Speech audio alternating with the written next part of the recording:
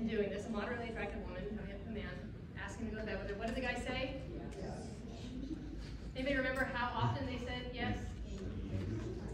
75% of the time they said yes. and the other 25% of the time they were really sorry. you guys, they did the same experiment where they asked them, will you go have coffee with me? And how many men said yes when a moderately attractive woman came up and said, will you go have, I found you on campus and you're really attractive, will you go and have a coffee with me? 50%.